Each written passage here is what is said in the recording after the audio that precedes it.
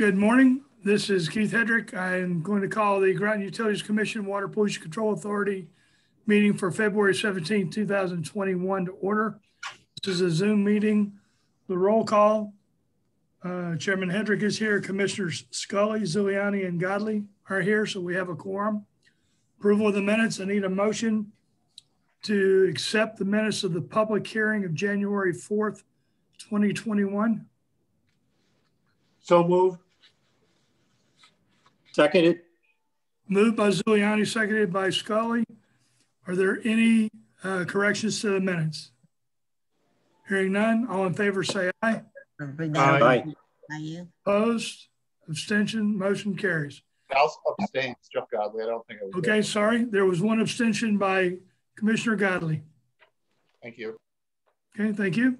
I need a motion to move the regular minutes, regular meeting, regular, correction. I need a motion to move the minutes for the regular meeting of January 20th, 2021. So moved. Second. A motion by Scully, second by Zuliani. Are there any corrections to the minutes? Hearing none, all in favor say aye. aye. Aye. Opposed? Abstentions? Motion carries. Next is approval of the treasurer's report. I need a motion to accept the treasurer's report for January 2021. So moved, Jeff Godley. Second. Moved by Godley, seconded by Scully. Uh, are any any comments on the treasurer's report? Hearing none, all in favor say aye. Aye. Opposed? Abstentions? Motion carries. Okay, communications and correspondence. We have the thank you from the Fair, from the Fairview Oddfellows Home uh, for our support of the art of uh, chocolate sponsorship, which was tremendous. Uh, and we also had a letter um, via circuitous route, but we got a letter from a tri-town trail association and we'll be discussing that a little bit later this morning. Is there any other communications or correspondence? Okay. So the next takes us to public communication. In response to State of Connecticut Executive Order Number 7B, protection of public health and safety during COVID-19 pandemic and response, further suspension or modification of statutes dated March 14, 2020, suspending in-person open meeting requirements. All public meetings will be closed to the public at this time. Public meetings will be available on Zoom with the information above. If you wish to address the commission, please send written communications sent to direct at grotonutilities.com by 9 a.m. on the date of the meeting. It'll be read during this portion of the agenda. Do we have anyone that has any citizens petitions in the audience? Okay, I do have, Mr. Mayor, Mayor, I, um, we have one new business item. I'm not sure if anyone who's connected understands that uh, at that portion of the meeting, they will not be able to speak, but they can present their information or petition to the commission here at the public session now. I'm not sure if they understand that. okay, then that is a good point. So I, so if you, I recognize a couple of names. If you want to speak about what's on the agenda for the new business, and let me go through that real quick. Uh, where are we? New business is the Tri-Town Trail and, okay, that's it. So, Excuse me, Mayor. Mayor, I, This is Noemi. Um, I just wanted to let you know that we did have correspondence from Sam Spano. Not sure if, no, I, I have that and I am going to read that. Uh, the Commissioner Zuliani brought up a good point. I, I, thank you, Noemi. I will not miss, I will not forget Sam's, uh, Sam's email. But there's also Chad Frost on, who is going to be speaking in this portion on behalf of Tri-Town Association. Tri-Town. Okay. So Chad, if you would like to speak under citizens petition, uh, state your name and address for the record, and then you'll have five minutes uh, to speak about the Tri-Town Trail. Sure. Thank you, Mr. Mayor.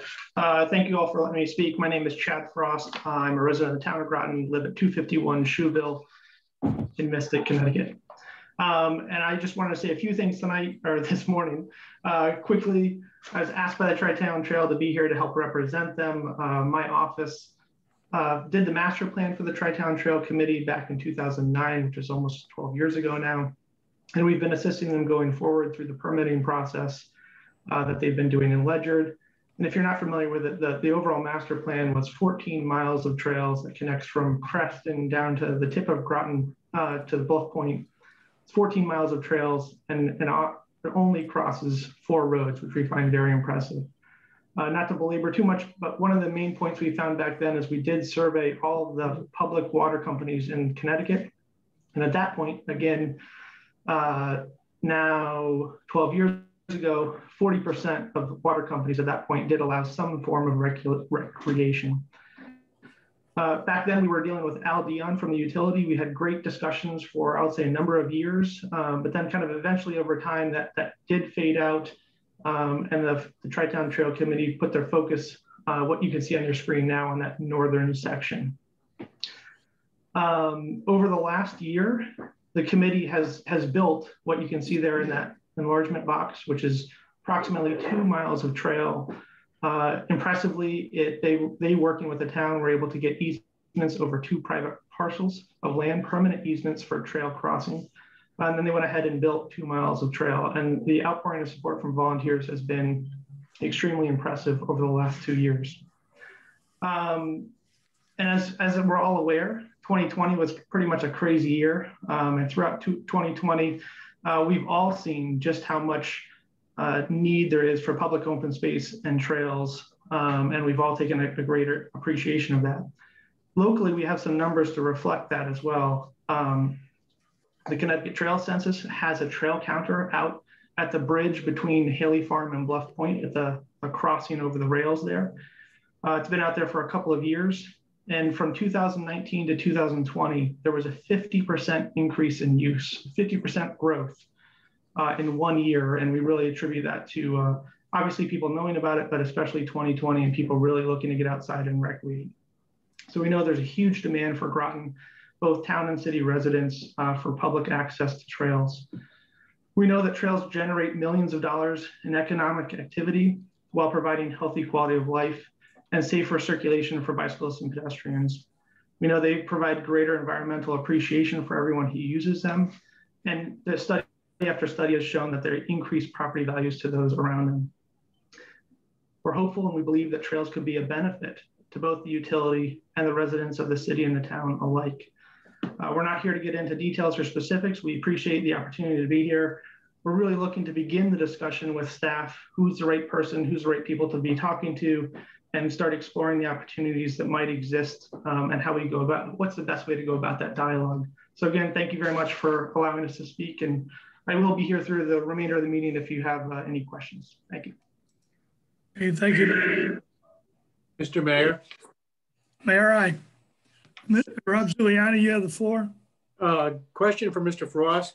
When was the town trail map designed? How, what year did that take place? How long has this been in existence? Uh, we did the master plan. We presented it to all the different municipalities in 2009, June of 2009.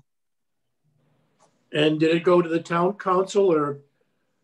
Yes, it, it went, well, it went to the town council, both the Groton Town Council, Ledyard Town Council, and eventually I believe it also went to Preston Board of Selectmen, uh, where each of those entities adopted um, as, as what one of their goals for development. Thank you. That's all I have. Okay, thank you. Uh, let's see, is there anyone else who would like to speak? Let me see if I don't recognize. Scully has a question. Oh, I'm sorry. Uh, Commissioner Scully, you have the floor. Uh, uh, Chad, your map, is this uh, conceptual design or is this, are any of these trails active? Uh, well, I know Bluff Point and, and some of them are, but Um, Yes. I- I would say it was intended, it was a master plan back in 2009. So it was intended um, to look at where trails could go. We had three different options as far as, um, you know, utility property and what might work or might not work. Um, there were definitely areas where there were no trails and we were proposing trails, and there were areas where there were current trails that we were looking to take advantage of. Um, but it was really, it was the master plan, right? It was the guiding document as to how might uh, southeastern Connecticut be able to connect, you know, 14 miles of recreational trail. So I hope that kind of answers your question. Yeah, You're, you're just trying to link some exist, existing trails together. Um, Correct. Uh, existing trails, and again, for the utility specific, we dealt with Al quite a bit. Um, we weren't looking to blaze new trails through the property. We were looking to utilize existing roadways. So, so almost anything that we had shown as a possibility on utility property was an existing gravel road um, that already exists. okay, Okay, because I've always looked at uh, the Copp property and Bluff Point and thought there could be very easily a trail along 117 as, as you have designed to connect those properties. Correct. Yes, and that actually almost was built now 20 years ago. There was actually uh, the, the town council was one vote away at the RTM from spending the money to build the trail that would connect Copp property along 117 down to Bluff Point. Uh, there is significant right of way along there. The old roadway actually used to be closer to the utility property. Uh, and if you look at the trees right along there, if you're driving on 117, there's kind of a gap in the trees where the old road used to be, which we think would be a perfect space to be able to build the trail. Right. Okay, thank you. Thank you. Any other commissioners want to speak uh, or want to ask uh, Mr. Frost any questions? If not, I'll go to other speakers. Okay, Mr. Yankee, I, did you want to speak? No, I do not. I am just listening. Okay, thank you. Ms. Holdridge, did uh, you want to speak?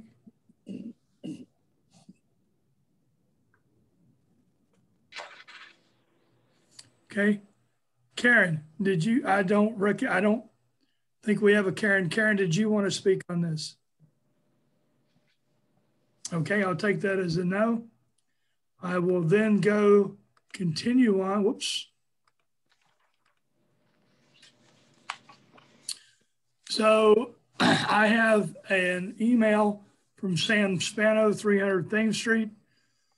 There have been zero days since last utility commission. I am hoping this situation continues. As I have stated before, I believe it is mainly due to the cold winter weather. The other possibility is that the odor problems were in fact all along caused by the leaking roof seal on the sled settling tank. Hopefully this was the case. If so, then the odor should go away with good, man, good for good, since GU management has stated that the issue was fixed late last fall.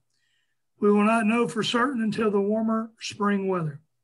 I see action item B, GUC WPCA 21-01-02 for $473,825 plus 10% contingency for low lift pump station screening and action item C, GUC WPCA 21-01-03 for $145,750 for engineering services for the same were both approved by the city council.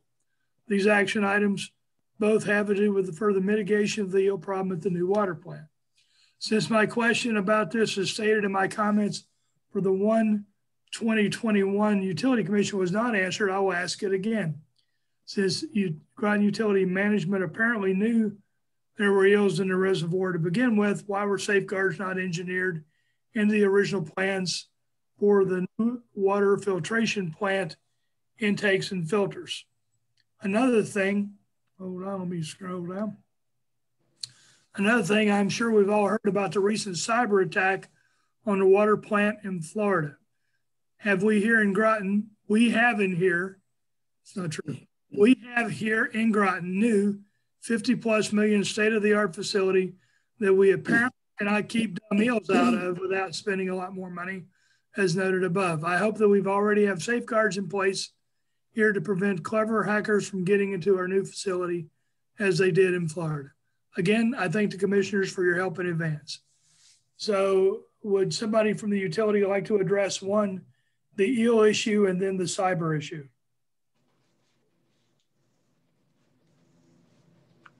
Uh, Mayor, this is Rick Stevens. Rick, you have the floor. Yes. Uh, first on the cyber issue, um, I think that was good for the water industry to see what happened in Florida. Uh, we're totally different in that uh, we do have all of the constraints that are required. Um, and uh, we've worked with our IT department to verify that. And we've worked with Woodard and Curran, who's our vendor who supplies our SCADA system. So we got that in writing from them, and uh, Sue uh, concurred with that. But like Sue always says, where there's a particular piece of equipment, there's always opportunities. But we've met every safeguard uh, that um, Sue Blanchette, our, our IT director, was able to uh, come up with, and the same with our vendor. Regarding um, preparation for um, circumstances related at the low lift, in the value engineering, we had two stations. We had the low lift station and the sludge station, both with aging infrastructure. We, um, in terms of economy, we focused on that sludge station. And we figured that since we could replace some pumps one at a time, we would work on that through expense and non-bonded capital. And the um, screens at the time, the traveling screens, we had estimates and proposals for rebuilding them, and we were going to do that with plant labor. So, um, can everybody still hear me? Yes. Yes. So uh, that was the work there. But like you know, Mr. Mayor, with the with the drought that occurred, the absolute lower levels, the some failing of infrastructure that occurred, we needed to address that problem and it's not just eels, it's eels, it's leaf litter. Um, even this year, like it's frazil icing of the intake structures. So we uh, decided to be proactive now and working with the um, general manager of projects, we've put together a project to integrate the aging infrastructure with the eel abatement with some energy efficiency measures at the low lift going forward. Okay, thank you. You're welcome. Uh, let's see. Are there any other comments under public communication? Okay, seeing none, I will move on to the regional water update, Poquetanuck Cove interconnection. Who's speaking to this? So, uh, Mayor, this is uh, Mark Byron.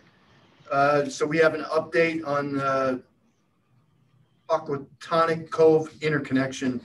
Um, we are we have continued to work with the uh, engineer out of Massachusetts, uh, and he is continuing to make state required changes to uh, the design documents. Uh, our plan is uh, once he gets to over 90% complete on the design documents, we're going to send that out to bid, and we believe that'll be by mid March. Okay. Anything else, Ray? Oh, okay. That's all I have on that topic. Okay. Thank you.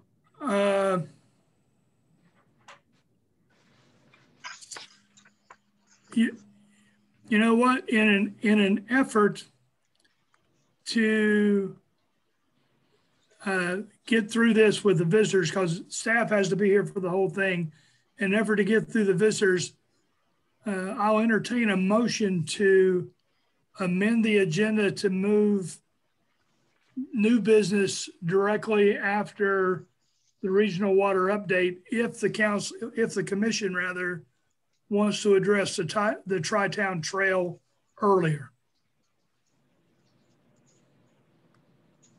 So move, Jeff Godley. Seconded. Okay, so we have a motion and a second. Is there any further discussion? Hearing none, all in favor say aye. Aye. Aye. Opposed, abstention, motion carries. Okay, so now we will discuss new business, which is the Tri-Town Trail Association. Uh, Ron, I'm not sure who's the lead on this discussion. Um, the, the intent of this uh, topic was to let the commissioners talk. And it was also to open the door for Rick Stevens to give us a little bit of the commissioners, a little bit of a history lesson as to what has happened in the past. Um, I don't believe this commission has ever discussed the Tri-Town Trails or is really aware of it. Um, it was before uh, my tenure and yours also.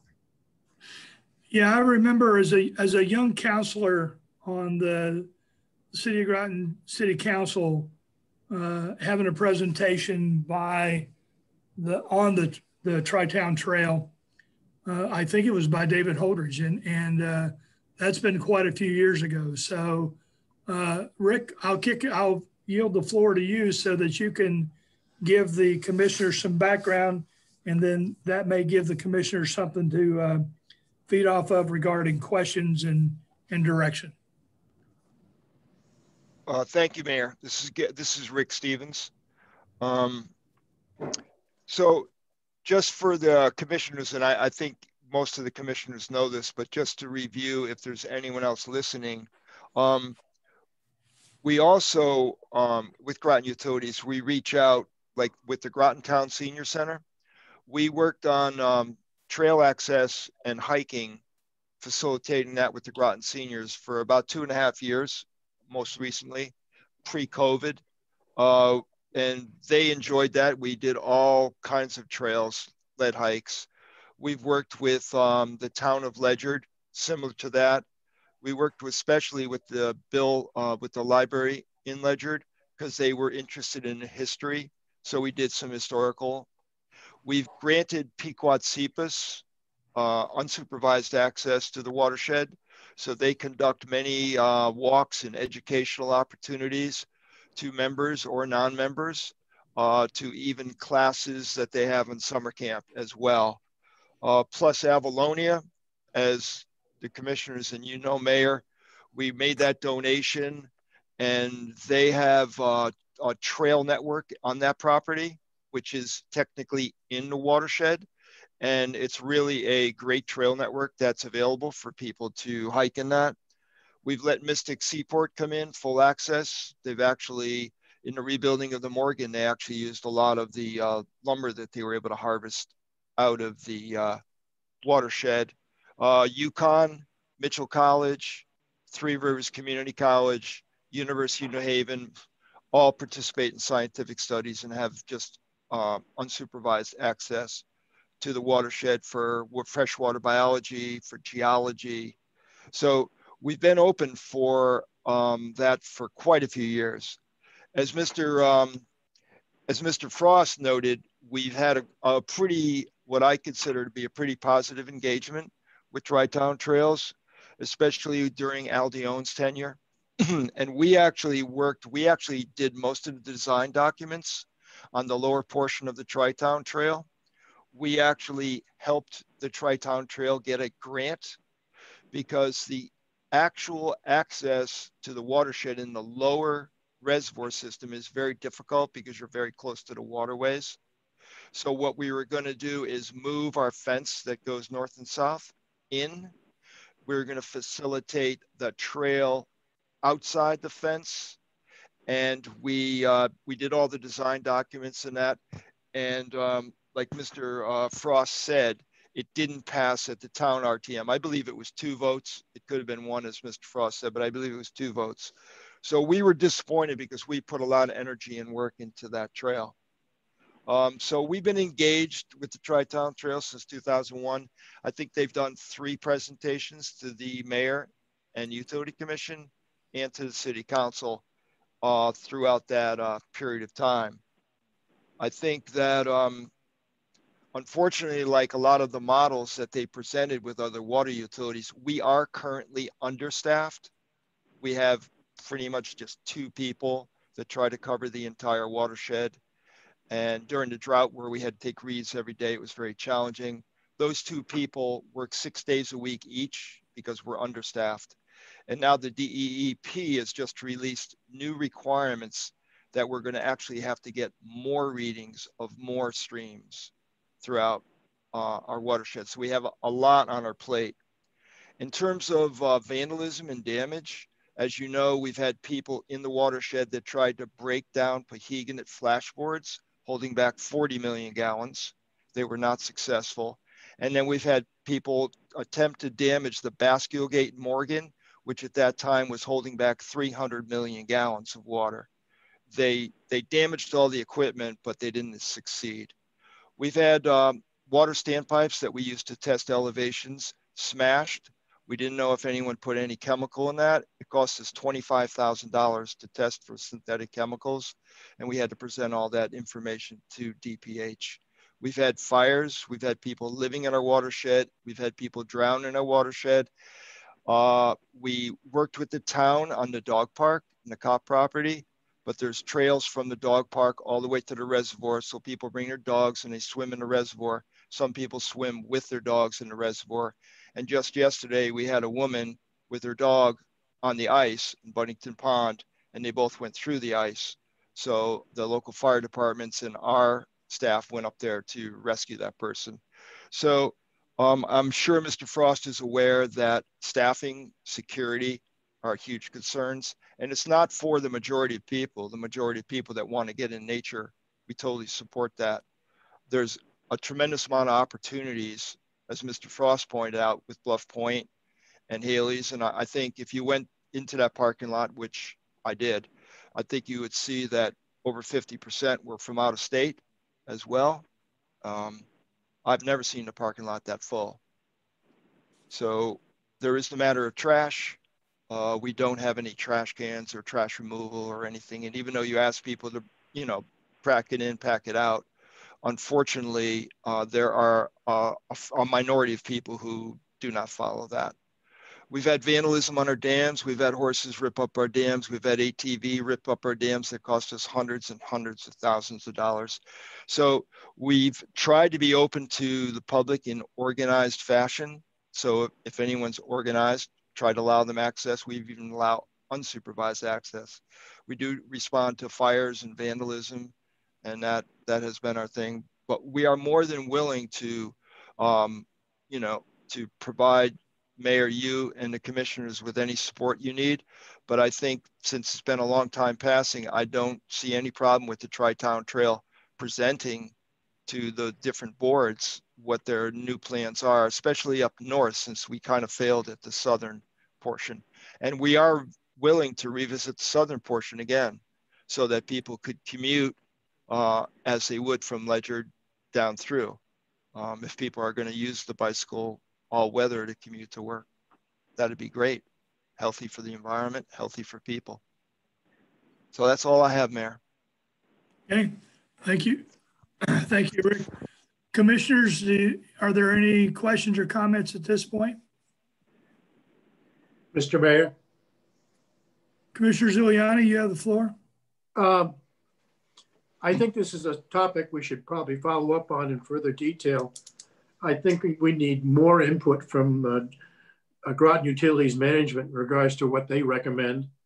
Uh, there's going to be cost associated with something like this. Uh, one is probably establishing, setting up the trails if necessary, uh, annual maintenance cost of just keeping everything under control. Um, Rick has indicated some additional expenses that concern me that may involve cleanup or or uh, observation. Uh, we, we need further information before we discuss this any further. Um, mainly, I, I, I, would look into uh, approval of supervised uh, access, but uh, we need to be careful here. Um, we have a very responsible resource and uh, things do go wrong and we need to avoid any major incident with this uh, uh, piece of real estate, and that's my opinion. Okay, thank you. Commissioner Scully? No, I'm all for trails. I've been walking a lot of trails in the last year, as many, many people have. Um, but we do have to protect our watershed. Like I said, the one and Rick mentioned also the uh, pushing the fence line back on 117 and putting a trail up and connecting the Copp property down to uh, Haley's Farm and Bluff Point. Um, I think that could be accomplished safely. I, I'm not sure about going north of there. I haven't um, been on those trails. Uh, but I, I would like some, to see something done in this uh, safely and, and, with the protection of the watershed. Um, Mr. Frost, are you still on? Yes, I am. I'm assuming there's grants available for this kind of work for these projects. There are. They're obviously competitive like every other grant right now, but yes, and uh, the, both the town Ledyard and uh, the town of Groton have both gone after them. Okay. Mr. Scully, anything else? Okay, thank you. Commissioner Godley, do you have any comments? I know that we've discussed in the past allowing more public access, which I, I do like to see. I know that they've been successful in Hartford, um, in West Hartford, the reservoir going up Avon Mountain. It's always packed. I'd, I'd like to see how successful they have been in keeping the watershed safe while allowing public access. But, you know, I, I understand that we have limited resources and we should think about increasing our resources to monitor the watershed area. But having trail access, I think, is a great idea if we can do it and do it safely.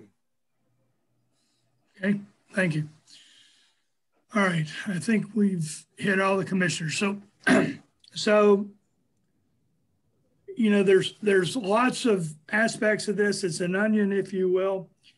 There's also across the road, there's the sheep farm that could be accessed and could go north and tie in uh, on that side, not necessarily on the reservoir.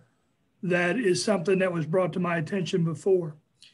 There's, there's lots of issues, and you know, there's there's a lot of ways to say no, and it's like, well, you worry about this because once you open this up, you open it up to everybody, right?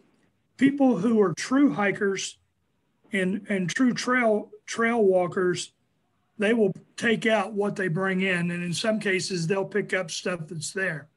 So those guys aren't the ones that we worry about. We worry about the other people and how do you keep them on the trail and how do we keep people from uh, causing damage to the reservoir and all those kinds of things.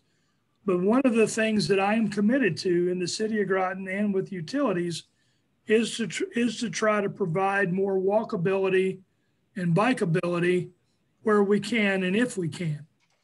So what I'm going to recommend that, that this commission does is to authorize Groton Utilities to work to talk to the tri, the appropriate tri-town trail personnel and start talks about what things would look like. We're not committing anything yet because, first of all, at this point, I don't think we truly know on both sides what we really want.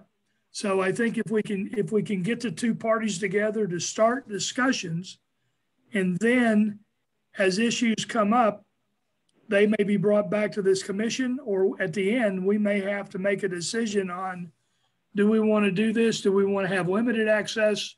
Do we have full access? Do we have no access? Do we do supervised visits? Those those kind of things. But I think the commission at this point, I don't think the commission has enough information in order to make a good decision. And I think the way that we we resolve that is to have the appropriate Groton Utilities staff talk with the appropriate Tri-Town Trail representatives and get that discussion started and work from there. Does that seem reasonable to the commission? Yes, and I so move the, your recommendation. Okay. I agree. A second. Well, I can, okay, then fine. I wasn't prepared to to to vote on this today, but, but that's fine.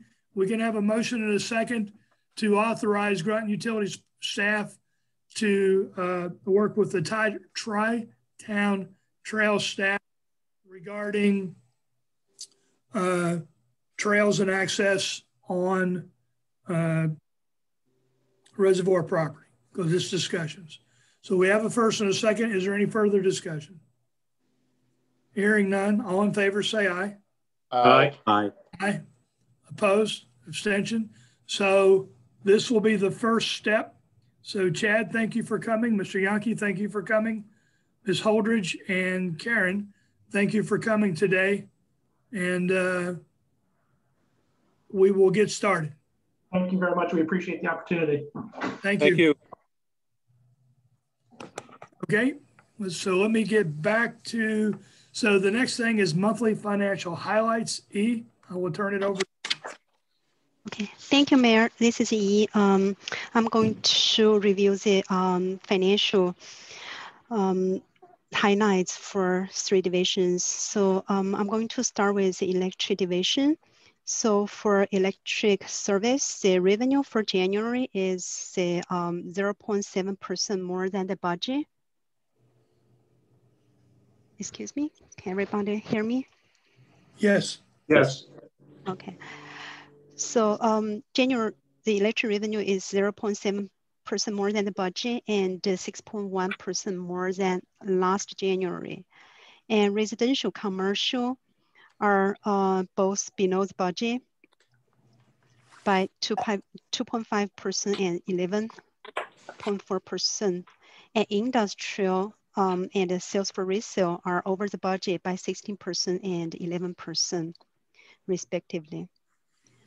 For year to date, um, the electric revenue is 0.3% more than the budget and 2.4% more than the same period of last year.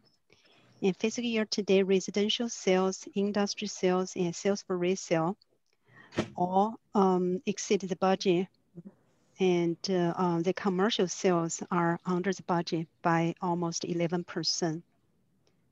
Um, the heating degree days are 11.3% more than last January and 2.8% more than last fiscal year today. And um, this is overall for the revenue side and uh, for operation and maintenance expense and net income. Operation and maintenance expense for January are almost 15% below the budget and net income for the month is 36,000 more than the budget due to the um, over budget revenue and the below budget operation maintenance. And also um, you can see the, um, just one moment.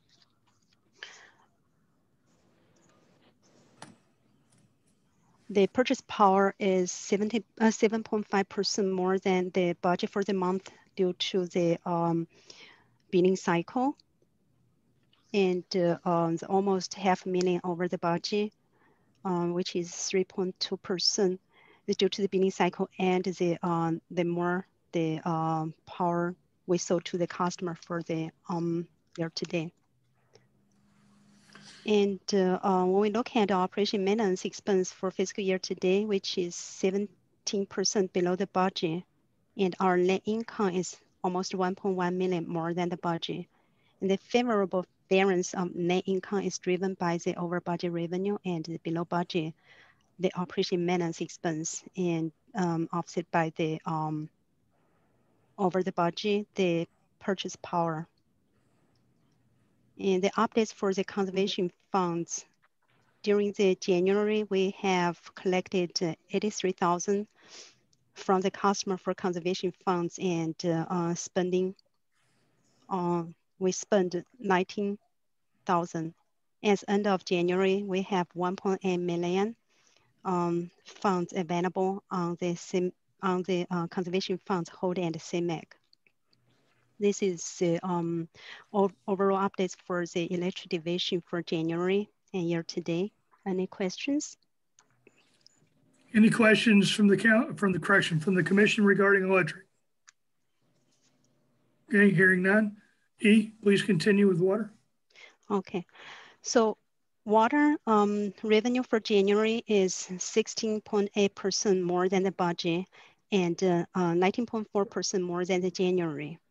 And the major increases came from the industrial sales and uh, which came from the three major industrial customers. They compare with last fiscal year and they have uh, a huge increase of the water usage. So um, due to the, um, based on the discussion with the, um, the uh, key account and uh, the information we got is the um, one of the major customers they have used a lot of water for um, the fuel cell and another is for flushing. So that's a major reason caused the increased water usage for January and contribute to, to the, um, the increase of the revenue. So total water revenue for year to date is 5.7% more than the budget and uh, 9.6% more than last fiscal year today. And residential, industrial, and sales for resale all over the budget by 4.9%, um, 17%, and 0.3%. Uh, and the commercial sales um, for fiscal year today is under budget by 6.2%. And regarding to the operation and maintenance expense and net income, operation and maintenance expense for January are over budget by 8.7%. And net earnings before the um, DWSRF grants is 179,000 more than the budget. And the favorable variance is driven by the over budget revenue plus the delay of the DPH Carson agreement project and also and also offset by the uh, over budget operation maintenance expense. Operation maintenance expense for fiscal year today are 4.2% uh, over uh, below the budget and net earnings before DWSRF grant is 1.4 million more than the budget. And also the favorable variance is driven by the over budget revenue plus the below budget operation maintenance expense and delay of the DPH project. Um, for the updates of uh, water treatment plant project, as end of January, um, the GU total spend 48.2 million on the project, on the water treatment plant project. And GU received a total 47.3 million from the uh, drinking water state revolving funds, which including 13.2 million from the grants and 34.1 million from the loan. And by um, end of January, and uh, GU restricted 3.7 million in cash for the water treatment plant, um, the loan payment um, for the future. So this is overall updates and the highlights for the water division, the financial uh, highlights. Any questions for water division? Thank you. Commissioners, any questions regarding water? Okay, seeing none. Uh, e, please continue with uh, sewer. Okay. So sewer revenue for January is uh, um, total is 40.9% more than the budget. And uh, the major increase is uh, also came from the industrial customer. Um, and uh, one thing I want to point out, because uh, we mentioned before, uh, one of the major custom industrial customer, we um, um, temporarily stop the meter, the deduct meter um, charge, and but the January will be the last month, and the February we will we will resume the deduct meter for um, that the major industrial customer. So um, for the uh, sewer revenue for fiscal year today, and uh, its total is 17.1% more than the budget. And residential industry sales are over budget by 5.2 and 27.7 percentage. And while commercial customer year to date are below the budget by 1.5%. Um, operation maintenance expense for January are 10% below the budget and net income is 170, 176,000 more than the budget. And the favorable variance of net income is driven by the over budget revenue plus under budget operation and maintenance expense. Year to date operation maintenance expense are 20% below the budget and net income is 900,000 more than the budget. And the favorable variance of the net income is also driven by the over budget revenue plus under budget operation maintenance expense. This cash on hand for electric is 78 um, days and for water is 101 days. Overall for the um, GU, the days cash on hand is 100 days. So this is overall for sewer and the uh, days cash on hand for three divisions. Any questions?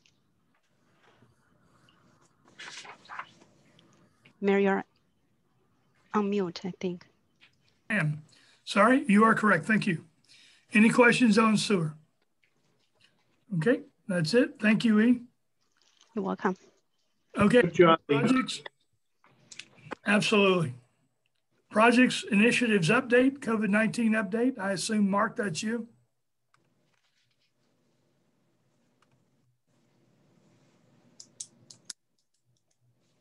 Mark, you muted. I started a really good talk too. So uh, th- this is hot off the press this morning. In the state of Connecticut, there's been 270,822 confirmed cases, uh, confirmed and probable cases of COVID-19. That's a change of 580 plus from yesterday. Uh, there have been over 6.3 million tests reported, both molecular and antigen COVID tests, and that's a change from 20,000. So you know, we, we've ramped up, uh, you know, considerably on testing where we can do more than 20,000 in a day.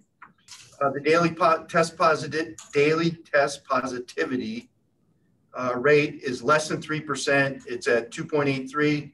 And uh, that's the lowest uh, it's been in several months. Uh, and it's been below 3%, I think, for almost uh, four or five days now. Uh, currently hospitalized in the state of Connecticut, there's 606 patients. Uh, that's down by 12 since yesterday. And if you recall, a month ago, we were talking in the 2000s. Uh, so this is this is very good news. Also, the un, you know the unfortunate statistic here is the COVID-associated deaths. We're at 7,449. The positive thing is that since yesterday, we only added two. And uh, so that the uh, fatality rate is, is, is dropping precipitously. In the state of Connecticut, uh, you know, Fairfield, Hartford, and New, and, uh, New Haven counties are the places to avoid in the state. East of the Connecticut River, um, New London County has 44 patients in the hospital, Tolland 2, and Windham 9. So in the entire eastern part of the state here, we represent only 8.9% of the, the total patients. So we continue on our good luck streak here. Vaccines have been administered, uh, the first dose to 473,784 people. Second dose is 218,062 people for a total of almost 700,000 uh, vaccinations here in the state of Connecticut. Connecticut uh, remains in the top four states in the nation for vaccine distribution. And as a result of that, the, uh, the federal government has upped our allocation by 22% starting next week.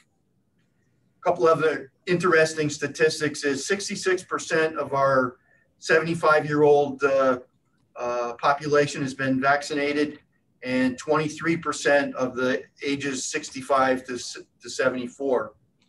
We remain in the phase 1B of COVID. Uh, the next phase will open here in the coming weeks and will open to include individuals between the ages of 16 and 64 who have underlying health conditions and frontline essential workers, which will include the rest of our uh, utility staff um, as it stands today.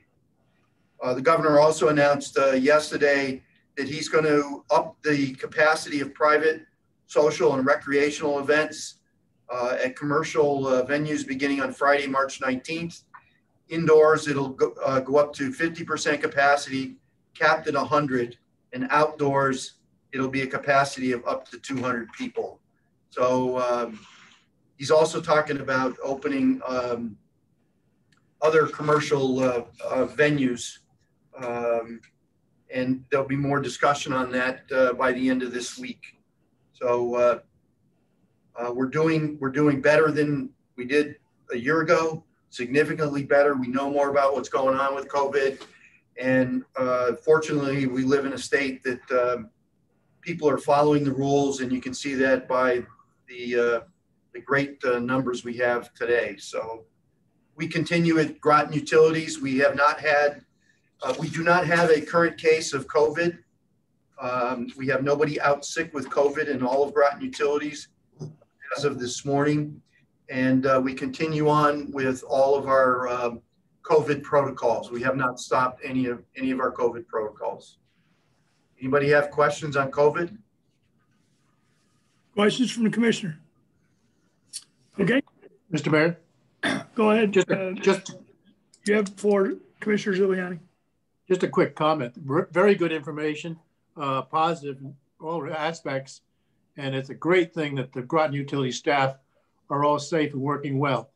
Uh, Compliments to all the regulations you guys are meeting and tests to make sure everything, everyone's safe. Good, good job. Thank you. Okay, And, and Mr. Or I, I'm not sure who knows the answer to this. Uh, I've asked this last time. Are our people getting vaccinated yet? Or are they going to be in phase one B? Fortunately uh, for us, when uh, the state came out and asked for rosters of essential employees, uh, we, we sent our roster up there. So there's probably uh, 30 to 40% of us that have gotten uh, at least one, and there are many of us that have gotten uh, our second vaccination already. And that's because of the uh, the, the snafu that happened early on uh, when they asked for rosters. Uh, but the rest of the the rest of the staff is making appointments uh, that are occurring in March. So we're, we're doing we're doing very well. I got to tell you, watch out if you get that second Moderna vaccination because it it kicked my butt on uh, Friday and Saturday. That's all I have. okay. So the next is customer service accounts receivable. I didn't see Tina. Uh, Mr. Mayor, I'll, I'll take this. Tina is on, has a vacation day and she sent me the update. Okay, perfect. So um, she made this nice and easy for me and made it a one liner. She said, compared to last year, our accounts receivable are actually down 1.2% compared to last year at this time in February. Okay, so that's a good sign. That's very amazing, actually. Any questions or comments from the commission? Okay, next item is water filtration plant project commissioning update. Hi, this is Ray Valentini. Uh, Water treatment plant is moving along. We, uh, unit three, two and three, all the piping has been removed. And hopefully we'll be starting to put the tile in for the manganese absorbers. We are still working on parts of the building with the PCBs. That has to be uh, removed. Uh, The contractor is doing a lot of electrical. Uh, The water, wash water tank was taken down. Uh, It was down in only four hours and removed from the site. So that was a historic moment uh, for it being up there that long.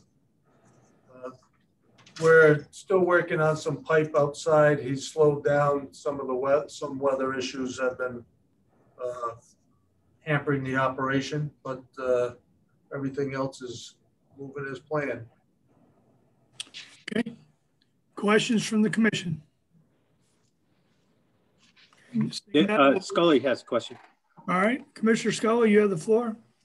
Ray, I see in your pictures of the construction, it says new lab. Is the lab moving back into the plant? No, that's, uh, we've always had a lab upstairs. Right. Uh, so this lab has been moved down to the first, the second floor. where the operation people are gonna sit. So we test, we, every shift does tests and samples Yes, during the day. So that's what that's for.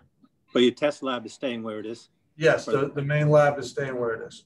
Okay. Okay. Anything else?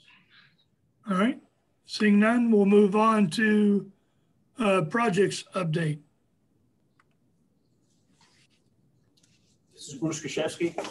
Uh, just to give you a few updates on the transmission project. Right now, uh, we've been notified that we'll probably be placed on the Connecticut Siting Council meeting agenda for either February 25th or March 11th of this year for the next pro- uh, step for the approval process, which is good news.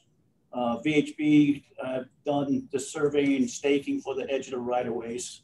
So that's, uh, that's where we're at with that uh, EV project, we're tentative scheduled to basically start setting poles uh, next week on, on that project too. And we're hopefully by the end of next week, we'll get a, uh, updated, uh, construction proposal for installing the Hendrix lines on, uh, from, from BHI too. So, so that project's moving along. Uh, the 30, 300, 305 sub, uh, sub transmission project, the final design is 95% down, uh, done. And that's, that's the project is off of Jurassic Drive. There's four poles we need to replace in, in the wetlands. And they, BHI have started a permit, all permit process. So that's in the, in the works and they're working on a construction proposal for that project too for us too. So Okay. Uh, Just an update for the commission last night. We had a public hearing on all the bonds for all the work for the water. uh, So for water, electric, Bozrah Electric, and wastewater, we had the public hearings last night. The Freemen's meeting to authorize those bonds will occur on 1 March. So that's just to let you know, and we'll be reaching out to you to get you guys to uh, come to that meeting so that you can vote for them. Um, because we'll need every, I, I don't know how it's going to go. I can't imagine anybody wanting to come out to, to vote these down, but uh, I don't, I don't like to uh, take anything for granted. So we'll keep you posted. Okay, old business. I have a question on projects. Uh, okay, go ahead. It, it um, Walker, Walker Hill uh, water tank project, there's a sidewalk kind of half built in front of there. Is that a GU project? Is that part of the tank project or is that something else? I'm not sure who that question would go to. That was part of the uh, site approval. That's, uh, that, so we did that. We have, the finished part will be when the station is put in, the new driveway will put in and connect it at the same elevation. You notice we left that space out, so, Okay, that's why it's not complete. right, that's, that'd Okay. be part of that. Makes sense. So that, that was a requirement to build a new tank to put that sidewalk in? Yes. Yeah. There's a plan in the town to make that a bike path, so all the sidewalks in that area have to be ten feet wide. Yeah, they have a nice one down Pleasant Valley Road and Route 12. Yeah. So we're gonna do, we're gonna do the sidewalk, the walls, the pump station there, all that is coming up here pretty soon, right, Ray? Yes, it is. Uh, we almost final design will be come to us uh, from the pump station manufacturer. He's working on a few more items to get the exact build in so we can get the foundation in the ground. And then hopefully, uh, everything starts getting built. And you built a new sidewalk in front of the filter plant. Yes, we did. That, nice job on that. That looks good. Yeah, that was all in-house. They did a good job. Yep, they did. Thank you. Okay. Anything else on uh, the project's update before we move on? Okay, wastewater treatment facility odor update? Yeah, so this is Mark, uh, Mark Byron again. Um, we continue working with uh, EB and Pfizer, uh, working on their flows. Uh, we continue uh, monitoring those additional monitoring points. all of the trends have remained uh, remained good. Uh, we have not seen any spikes uh, and have not had any odor complaints. The one additional thing uh, we're embarking on, and that's part of today's agenda, is uh, hopefully we'll get approved to bring Wright Pierce into do a wastewater treatment plant study. And that will include conversion to a pump station uh, you know, that is part of the uh, study. And uh, Ray and I actually met with the town of Groton yesterday just to give them a heads up, uh, give them an opportunity to think about the feasibility of, um, you know, taking taking our uh, our flow over that way. but I just want to put that out there because there were several citizens out there a few months ago that were make, asking us uh, you know, why we hadn't looked at that. And it is part of the scope of the, the uh, wastewater treatment plant study. So uh, that's all I have on the odor update uh, this morning. Okay. All right, thank you. Let me scroll down. So action items. The first action item for today is I need a motion for GUC WPCA 21-02-10, consideration of an action authorized Groton Utilities Management to approve the engineering agreement for and purchase and issue a purchase order to Wright Pierce Engineering 169 Main Street 700 Plaza, Middlesex, Middle, Middlesex, Middletown, Connecticut, for the City of Groton wastewater treatment facility. Facility study amount not to exceed two hundred fifty thousand, two hundred fifty-two thousand, five hundred twenty dollars and no cents to be paid from the approved FY twenty-one operating budget and that the city council be apprised of this action with the recommendation that it concur and that the director of utilities, Ronald A. Gaudet, be authorized to sign the engineering agreement. So moved. Second. Okay, so we have a motion from Zuliani, second from Scully. Uh, discussion. So this is the study that uh, I referenced just a moment ago, uh, where we're having uh, Wright Pierce uh, uh, come in, who is also our our um, master service agreement vendor for water and wastewater, and have them do a complete uh, top to bottom, uh, soup the nuts uh, study to see what we can uh, do to either uh, turn turn the current wastewater treatment facility into a pumping station or improve the operation and or processes uh, that we conduct down there to bring bring the plant up to modern standards. Okay. Any, any further comment from the commission? Okay, seeing none, all in favor say aye. Aye. Aye. Opposed, abstention, motion carries.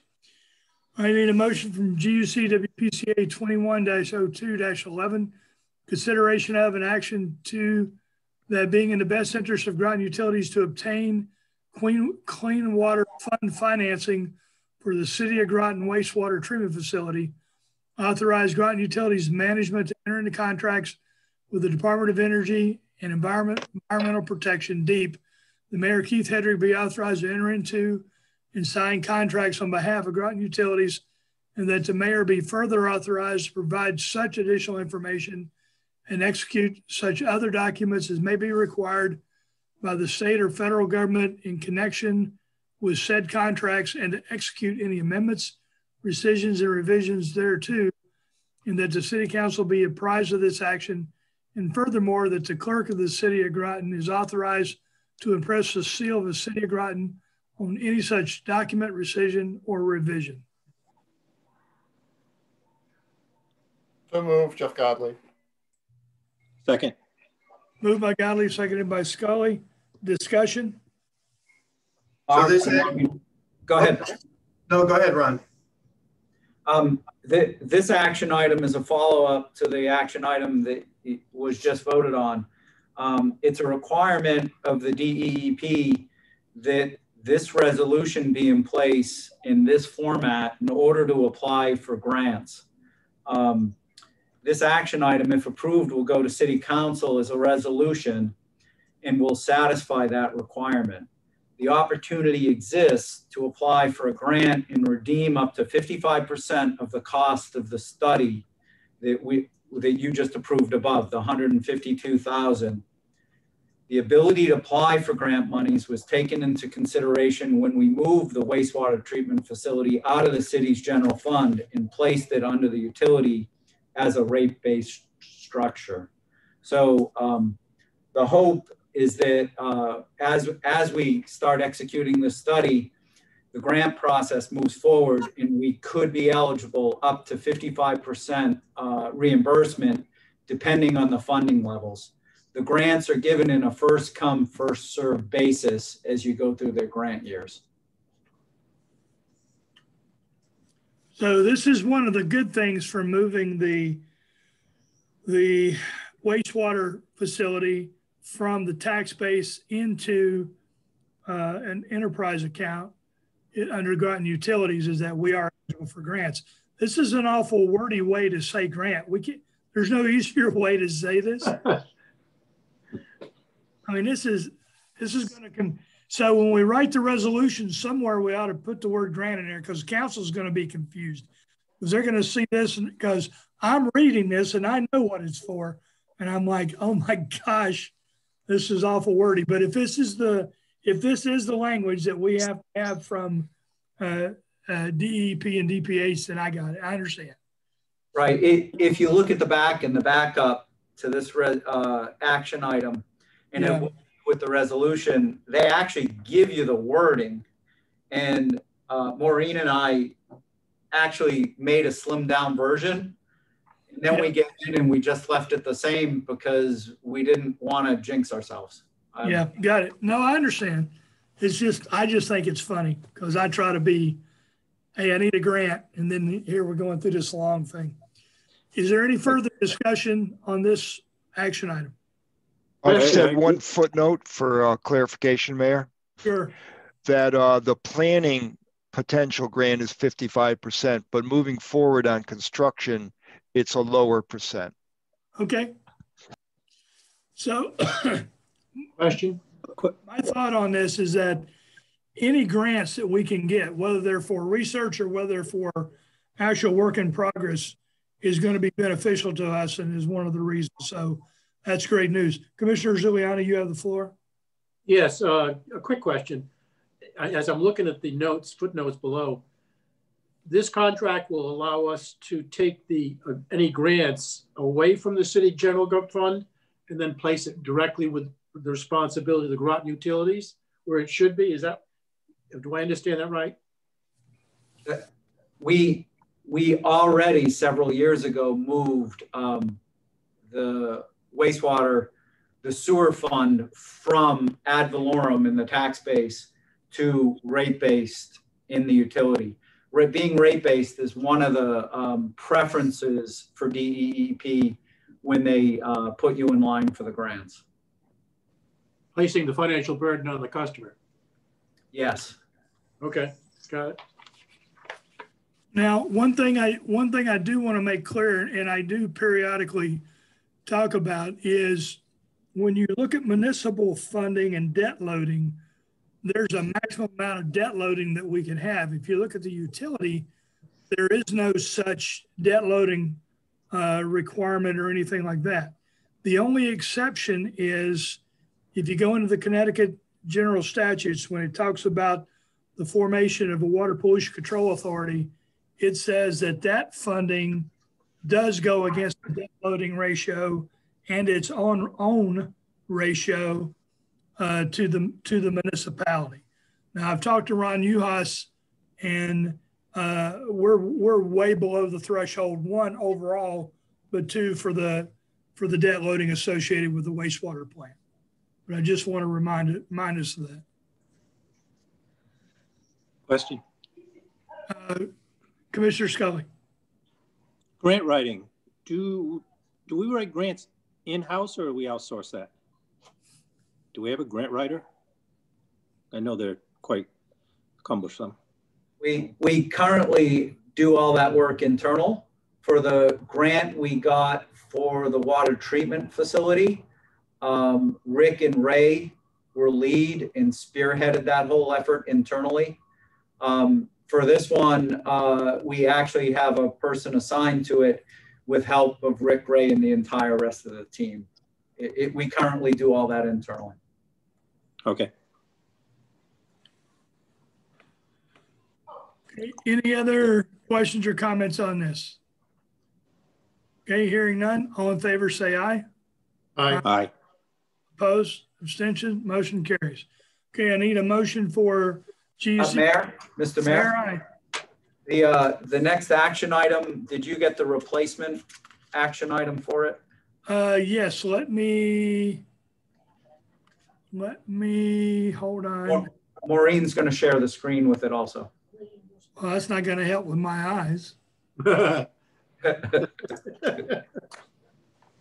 Hold on, I, I thought that I, hold on, we'll see if I'm as smart as I think I am.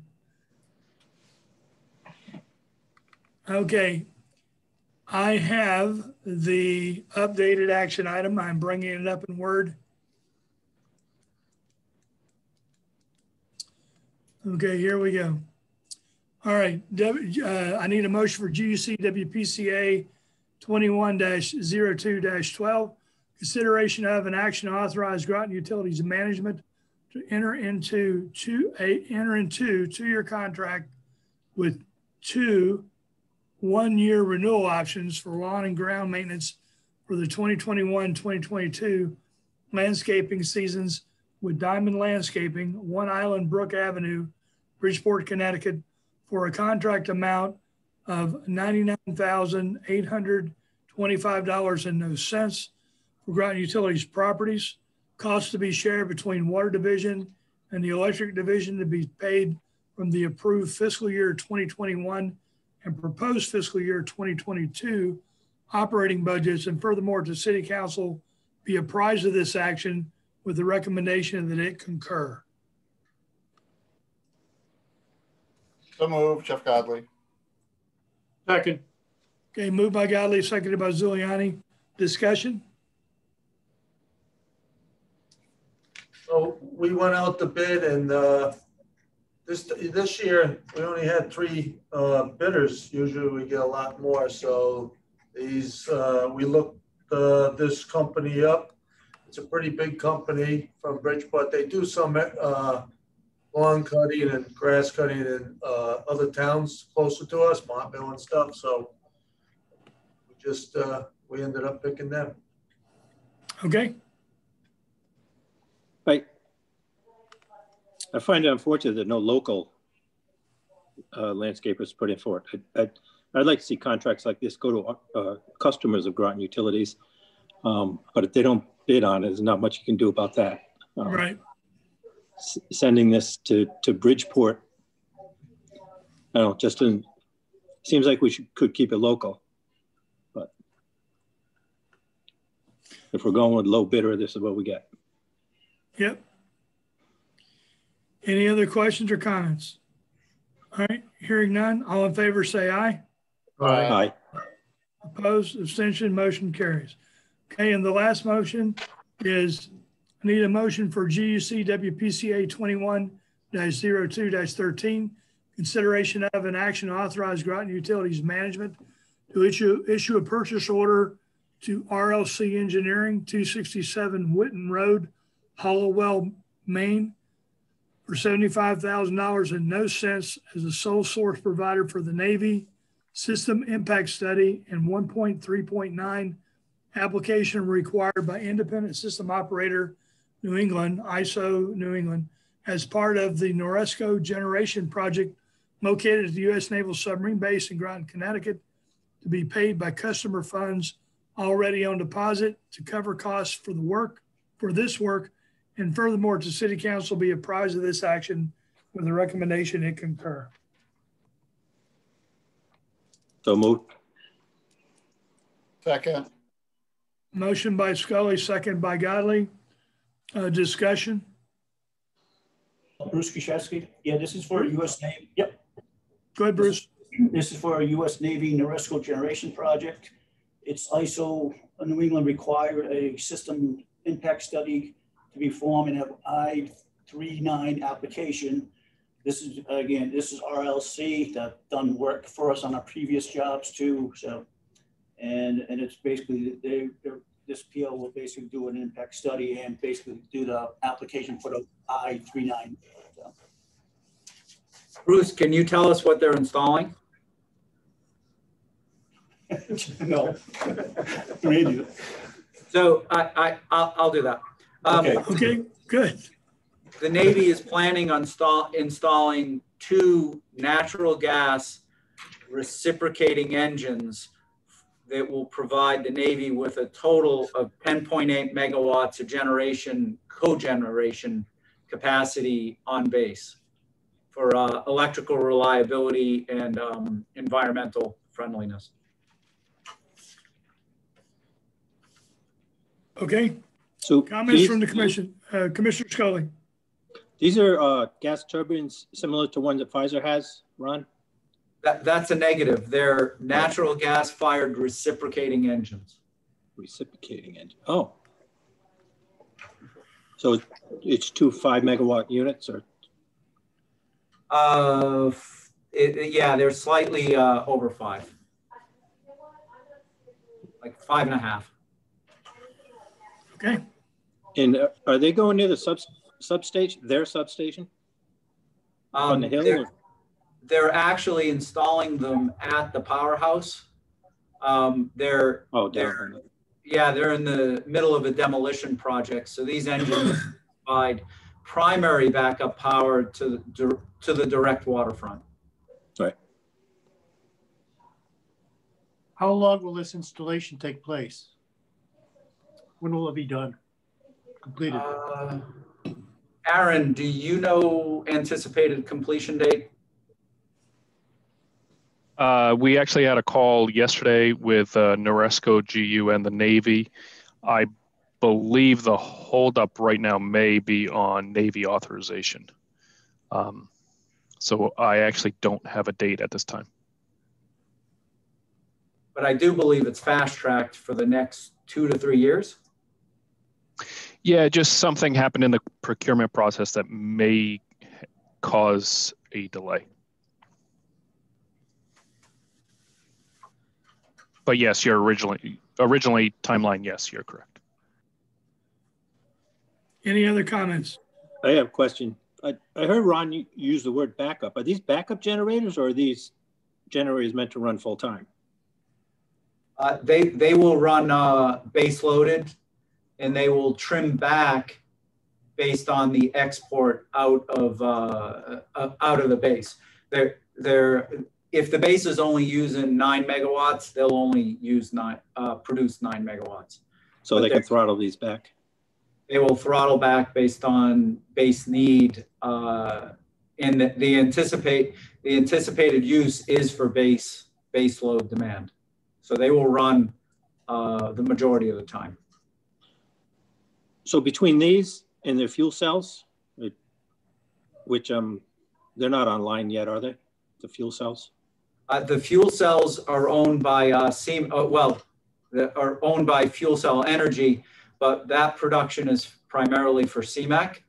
Those cells are in the process of being commissioned right now.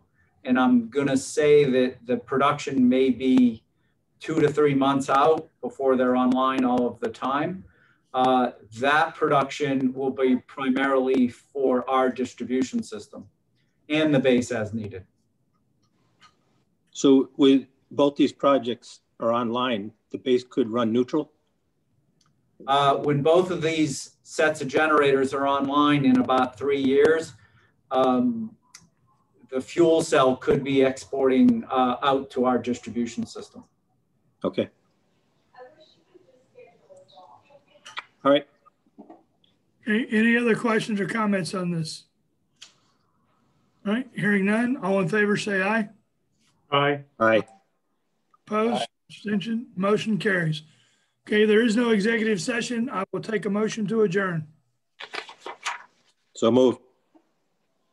Second, We have a motion by Scully, second by Zuliani to, ad- to adjourn. All in favor, say aye. Aye. Aye. Opposed, abstention, motion carries. We are adjourned. Thank you, commission. Thank you, staff, for everything that you're doing. Hope you guys have a great day. Stay safe. Thank you. thank you, you too.